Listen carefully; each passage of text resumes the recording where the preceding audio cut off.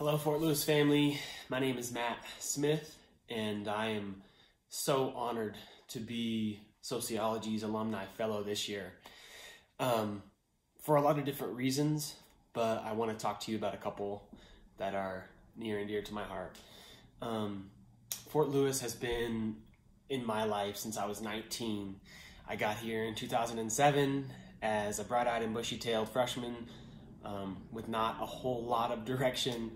Uh, but once I found the sociology program a few years in, um, I really found my passion um, in connecting with people and helping people and learning about them and, and how we interact in the world and how we exist in, in systems. Um, but more specifically, the thing that really got me um, on, on the right direction would be when I met Janine Fitzgerald.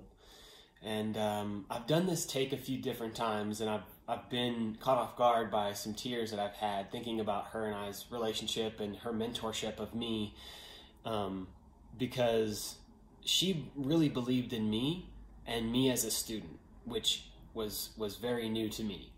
Coming in as a student with a learning disability, I didn't have a lot of success in the academic setting. Um, and I came through disability services as a student.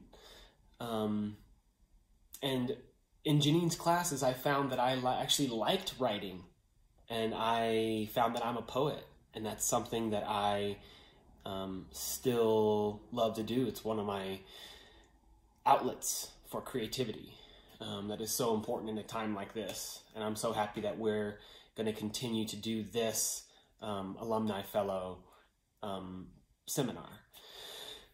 Um, I work in disability services at Fort Lewis, so I feel I really have a unique perspective on the students that are coming in um, because I was a student who who came into that office, you know, afraid and and having some academic wounding, um, but still having this dream of getting this this undergraduate degree. Um,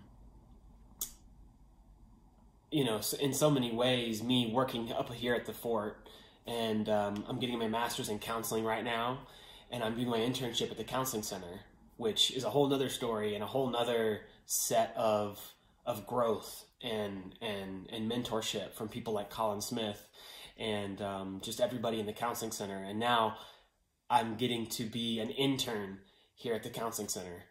Um, Fort Lewis has been so instrumental in who I am as a man and how I exist in the world and how I want to show up for people.